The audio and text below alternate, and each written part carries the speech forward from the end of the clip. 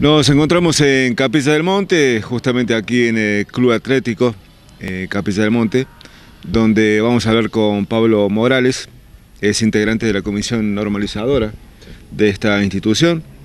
Vamos a hablar sobre el funcionamiento, qué se hace, qué no se hace, qué perspectivas, qué proyectos. Pablo, gracias por recibirnos. ¿Cómo te va? Eh, ¿Cómo estás, Sergio?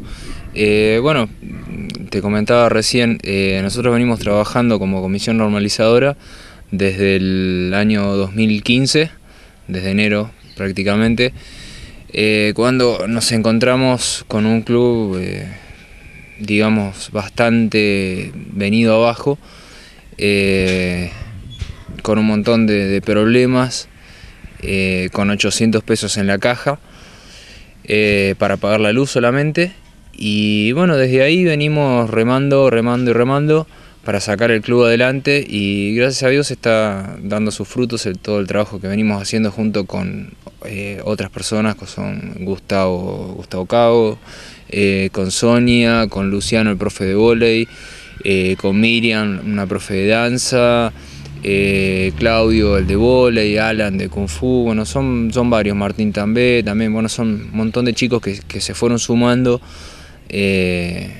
a la idea nuestra de, levantar el club de a poco, ¿viste?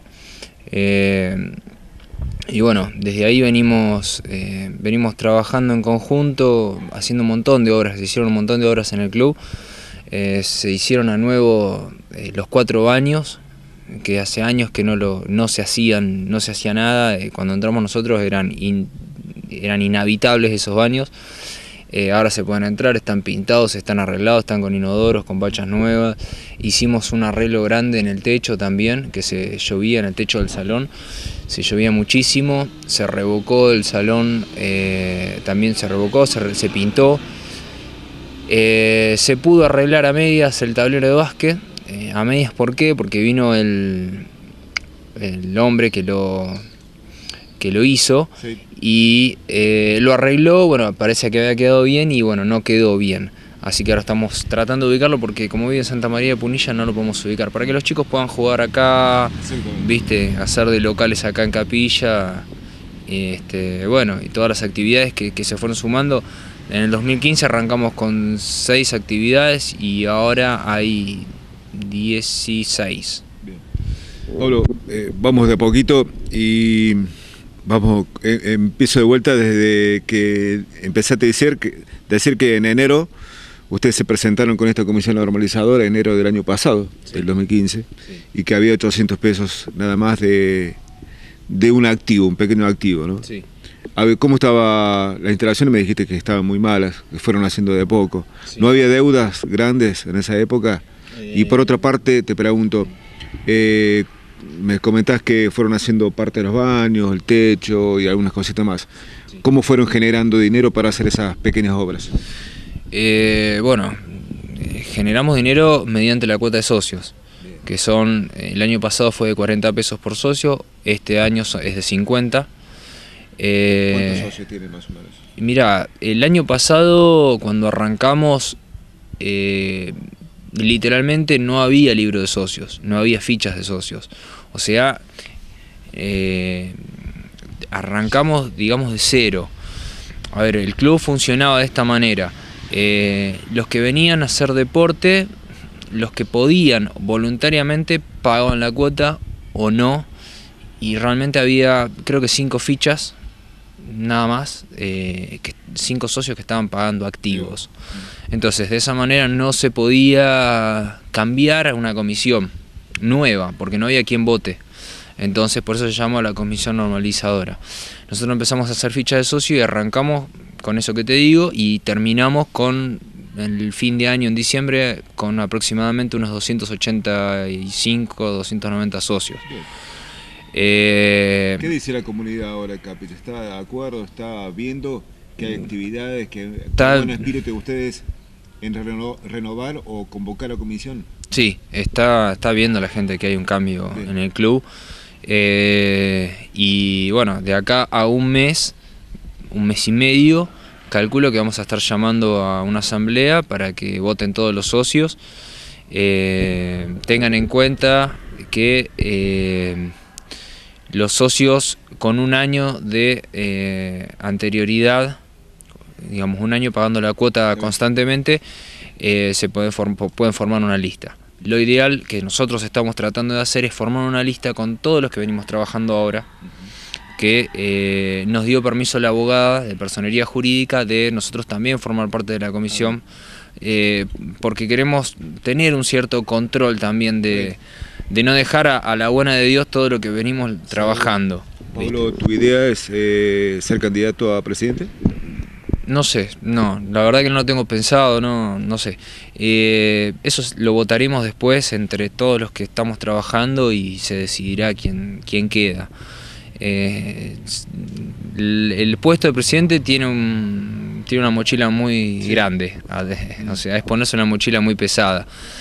Así que, no sé, eh, la idea es que todos trabajemos a la par. Si nosotros, nosotros somos de la idea de eh, formar, eh, si se pudiera, una cooperativa, no se puede. O sea, es ya preguntamos en, en personería jurídica, no se puede para que estemos, para que nadie sea un cabeza y uno se encargue, para que sean todos y todos trabajemos. Tiene que ser una comisión directiva. Una comisión directiva como debe ser, eh, con creo que son 13 personas por estatuto.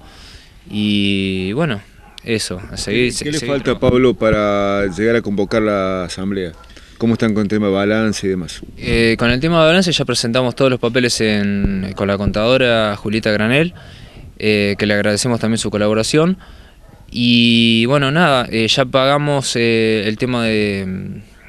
Eh, ¿Cómo se llama? El, timbrado. Y ella está presentando, creo que ayer o hoy, presentaba las cosas en jurídica. Nosotros tenemos que ir a hablar con la abogada y ya fijar una fecha, una fecha de asamblea. Así que digamos que falta, falta muy poco. Falta poco. Sí, sí, sí. me decía recién que posiblemente falte un mes y medio dos meses a lo sumo para convocar a usted a asamblea. Sí, sí, un mes, yo creo que no va a pasar más de un mes que ya vamos a, estar convocando asamblea. ¿Cree que haya más de una lista que esté interesada en participar? Y sí, el tema que, bueno, no, no sé cómo, eh, si, si, si van a formar una, lista, dos, eh, eso lo verán los socios, lo verán. Este, los socios que pueden votar son los que son mayores de 16 años. Este, y bueno, igualmente creo que los socios eh, están viendo el cambio que hay en el club y el cambio que va a haber de acá en adelante. Eh, si Dios quiere, eh, tiene que haber un cambio radical. Ah, estuvimos también cambiando. Radical en el buen sentido de la palabra. Sí, sí, sí, radical. No, no, no, no, un cambio de 360 el club. ¿sí? acá la política no, no la, política la dejamos de lado acá. Hablando de política, la relación con la municipalidad, institucionalmente bien. Sí, sí, perfecto. Gracias a Dios nos está también dando una mano.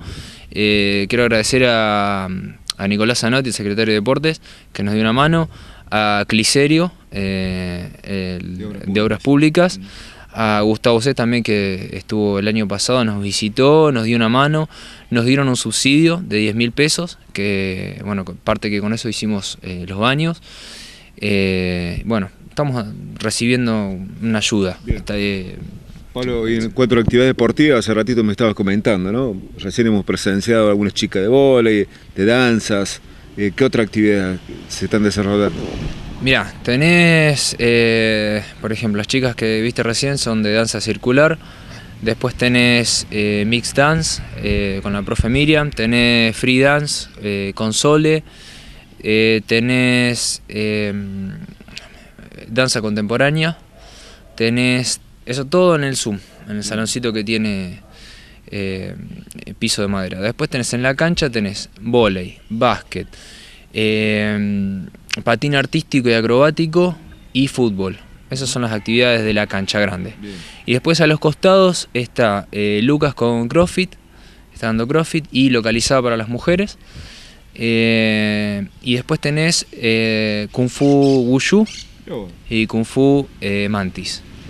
y Tai Chi también. Esas son todas las actividades que hay hasta ahora. Y bueno, ahora parece que también se va a sumar otro profe de, de gimnasia para gente grande, para sacarlos del sedentarismo. así que bueno, la gente grande también va a tener su lugar. Eh, la gente de básquet, hace ratito me estaba comentando algo, ¿va a, participar del campeonato regional de, Punilla o ya comenzó? Sí, van a participar, eh, todavía no están confirmadas las categorías, pero van a participar. Eh, la primera y bueno, los chicos, todavía medio como que ayer justo tuvieron una reunión, ahora me tengo que juntar con los delegados de básquet a ver qué, decidieron, qué categorías van a competir, pero sí, van a competir en la, en la Liga de Punilla. En cuanto a la parte de Irice y por último, ya prácticamente, Pablo, eh, ¿qué es lo más urgente que, más se necesita hacer acá? ¿Se llueve en los techos? ¿Hay que arreglar eh, algunas cosas? A ver, contanos. Mira, eh, digamos, lo más urgente sería poder cambiar el techo, el tinglado. O sea, hay dos cosas que son muy importantes en el club, que lamentablemente llevan mucha plata. Una es el tinglado, que nosotros provisoriamente lo estamos arreglando, le pusimos cerca de 350 tornillos al todo el tinglado y eh, todo lo que es eh, membrana en los bordes, todo.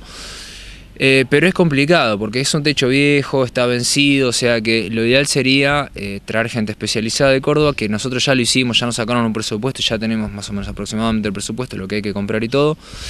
eso por un lado. Y por otro lado teníamos ganas de también el día de mañana es uno de los proyectos que tenemos, cambiar el piso, mejorar el piso, porque está bastante deteriorado por los años, hizo una construcción vieja, entonces bueno, la idea es el día de mañana poder cambiar el piso.